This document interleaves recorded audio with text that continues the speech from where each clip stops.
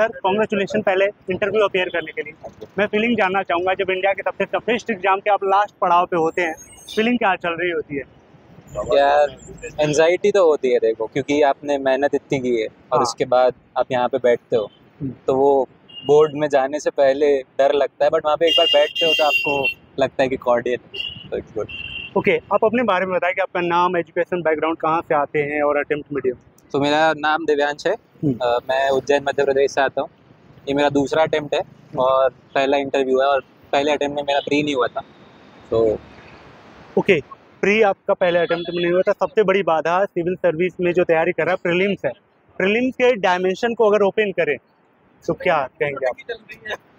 Prelims में यार देखो कॉन्सेप्ट्स पे फोकस करो। जो चार मेजर सब्जेक्ट्स हैं तुम्हारे पॉलिटी इकोनॉमी जोग्राफी और history hmm. You be thorough with that पर उसके बाद आजकल रैंडमनेस इतनी हो गई है यू प्रैक्टिस योर मॉक्स जो भी नए पैटर्न पे हैं हाँ। और उसी से कॉन्फिडेंस आएगा उसके अलावा कुछ नहीं हो सकता। वो वो सोर्स क्या अप्लाई करते थे प्री के लिए? पी क्यू होते थे मॉक टेस्ट होते थे क्या होते थे?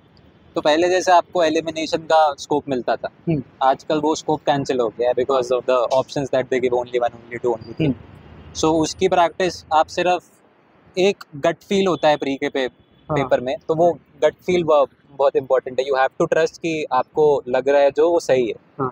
You have to attempt around 90 questions क्योंकि उससे कम में मोस्टली चांसेस हाँ। कोई मतलब नहीं है कि कुछ गलत भी तो होंगे। तो you have to attempt them मतलब if you are 50% sure about answer I would recommend कि आप दे दो उसका आंसर ओके ठीक है जब आप इंटरव्यू हॉल में जाते हैं तो आपसे क्या उम्मीद है कि किस तरह के क्वेश्चन पूछे जाएँगे? जो उम्मीद आप लेके गए थे वास्तव में उस रेंज के क्वेश्चन थे या फिर थोड़े से नहीं मतलब एक तो मैं कोई उम्मीद ले, लेके गया नहीं था क्योंकि मेरे को पता था कि आप क्वेश्चन जज नहीं कर सकते। थोड़े से मतलब fifty percent question I would say कि डाफ के अराउंड थे तो I. Was comfortable with them fifty percent नहीं थे सो हम्म। उसमें से कुछ में आई डिनाइड कि नहीं पता। और कुछ में ऑन द स्पॉट थिंकिंग करनी थी टू चेक कि आप कैसे कर रहे हो। ओके कुछ क्वेश्चन आप रिवील करना चाहेंगे उनकी थीम क्या थी? अगर डैफ की थी तो डैफ में क्या था? आपके फैमिली बैकग्राउंड ओरिएंटेड था आपके ओरिएंटेड था आपके हॉबी ओरिएंटेड था?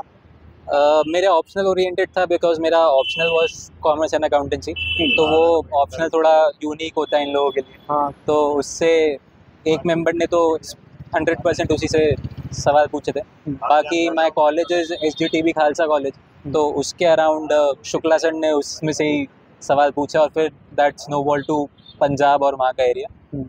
बाकी थोड़ा सा स्पिरिचुअलिटी एस्पेक्ट था कमिंग फ्रॉम उज्जैन। कुछ बताएँगे So- क्या वो क्वेश्चन क्या था? जैसे कि अपन हमारी कल्चर में हम सारी नॉन लिविंग थिंग्स को भी हाँ। पूजा करते हैं वगैरह सो ऐसा क्यों है? फिर उस पर थोड़ा सा डिस्कशन हुआ तो ऐसे सवाल थे। ऐसी उम्मीद थी आपसे कि ये भी पूछा जा सकता है उज्जैन से related never prepared that okay mains की आपकी अप्रोच क्या रही है? क्योंकि मेंस में लोग कहते हैं कि आपके सोर्स जो हैं लिमिटेड होने चाहिए कंसाइज होने चाहिए कम होने चाहिए। लेकिन बहुत से के दिमाग में ये रहता है कि अगर एक बुक से मैं पढ़ूँगा वास्तव में उस लेवल के क्वेश्चन कर पाऊँगा नहीं कर पाऊँगा इसलिए वो थोड़े फैल जाते हैं। तो आपको लगता है? मेरे को ऐसा लगता है कि आपको मेंस में या तो डेढ़ सौ वर्ड लिखना है या ढाई सौ वर्ड लिखना है। हाँ। दो ही ऑप्शन है आपके पास। सो so, आप उसके लिए अगर हज़ार वर्ड पढ़ोगे किसी एक टॉपिक पे तो दे आर मोर देन अब वो आपको एक सोर्स से मिल जाते हैं और इफ़ यू इंक्लूड न्यूज़पेपर और मैगजीन्स जो आप पढ़ रहे हो हम्म। तो उसके बाद आई थिंक इट्स इनफ मतलब you don't have to run around catching news also okay book list और उनके सप्लीमेंट्स आप जैसे पॉलिटी के लिए आपको पता है सबको पता है कि लक्ष्मीकांत। लेकिन लक्ष्मीकांत के साथ सप्लीमेंट क्या? एन सी आर ओनली और वैसे सब्जेक्ट वाइज अगर बताना चाहें बुक तो history was N C R T hmm. मतलब the primary book was NCERT हाँ। उसके बाद जो तीन बुक अपन हाँ। पढ़ते हैं बिपिन चंद्रा जो भी स्पेक्ट्रम बिपिन चंद्रा स्पेक्ट्रम बिपिन चंद्रा में से कोई एक हाँ। Not both geography was NCERT जो अपना फ़िज़िकल जोग्राफी वाली बुक है। इलेवन इलेवेंथ वाली। उसके बाद कमिंग टू इकोनॉमी मेरा बैकग्राउंड इकोनॉमी में था तो उसके लिए मैंने सच कोई बुक नहीं की थी but economy according to me थोड़ा डायनामिक सब्जेक्ट है तो I think newspaper would suffice for economy मतलब मैंने सिर्फ़ न्यूज़पेपर से प्रिपेयर किया था।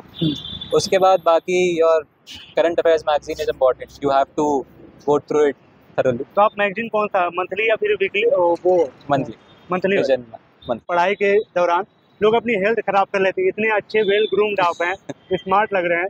तो ड्यूरिंग प्रिपरेशन कभी ऐसा नहीं होता कि आँखें जलने लगी तो सो गए। मतलब कुल मिला के पर्सनैलिटी डेवलपमेंट की मैं जानना चाहूँगा कैसे मेंटेन किया आपने? यार you have to be motivated to do that क्योंकि आपको पता होना चाहिए अल्टीमेटली आपको कहाँ जाना है। और अगर आप थोड़ा सा फ़िज़िकल एक्टिविटी कर रहे हो तो it snowballs again to better concentration while your study तो वो सब एस्पेक्ट्स भी इंपॉर्टेंट होते हैं। You can't ignore them all together आपने नोट्स बनाए थे एन की या स्टैंडर्ड बुक या फिर आपके कोचिंग के रहे कोचिंग लिया आपने? हाँ। तो आप नोट्स क्या सोच रहे हैं? लिमिटेशन क्या रही है तो? नोट्स सो बेस वॉज़ मेरे कोचिंग के नोट्स उसके बाद फ्रॉम द वेरियस सोर्सेज जो मैंने पढ़ा हम्म। उससे on the same topic you add on to the notes और उसके बाद मेन से पहले what I did is that I created a one pager for every topic syllabus wise so that help me revise after my pre and between my okay आपका जब mains का result आ जाता है और इंटरव्यू के time जो बीच का time रहा इसका यूटिलाइजेशन कैसे किया आपने? मेरे से नहीं हो पाया था क्योंकि एक तो मेंस के बाद थोड़ा सा मोटिवेशन कम हो जाता है बिकॉज़ यू डोंट नो आपको क्या होने लिए पढ़ना है। हाँ। तो I revise my optional because that was a safe bet to do. और उसके साथ ही मतलब ऐसे ही था यार।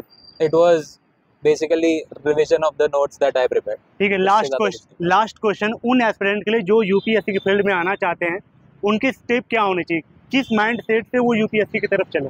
Come to it with a very if you are very motivated because process itself is very tiring because अगर आपका एक स्टेज नहीं होता तो you have to wait for one whole year zero से yes, करना so you have to start for it again hmm. तो अगर you have that inner motivation to go for it हम्म। तो I suggest कि कर लो हम्म।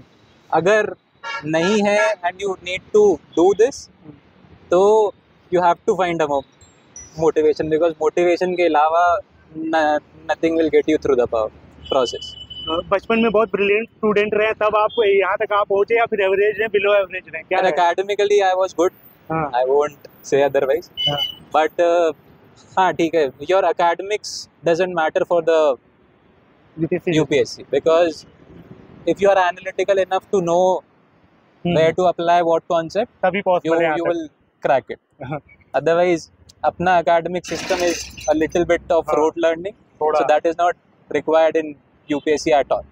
कुल मिला के कहने का मतलब ये है अगर बिलो एवरेज भी है तो भी यहाँ चांस हो सकता है आपका। तो कितना भी कम परसेंटेज है बस पास रहें आप। ग्रेजुएशन आपका होना चाहिए। तो कैसी लगी वीडियो कमेंट करके बताएँ। कोई क्वेश्चन हो छूट गया हो मैं पूछना भूल गया हूँ। कमेंट करें ताकि मैं अगले कैंडिडेट टॉपर से वो चीज़ें पूछ पाऊँ। चलिए मिलते हैं किसी और ऐसी शानदार वीडियो में। थैंक यू सो मच और मैं उम्मीद करूँगा कि अगली बार आपसे मुलाकात हो तो प्रॉपर लिस्ट में आप हो। Thank you so much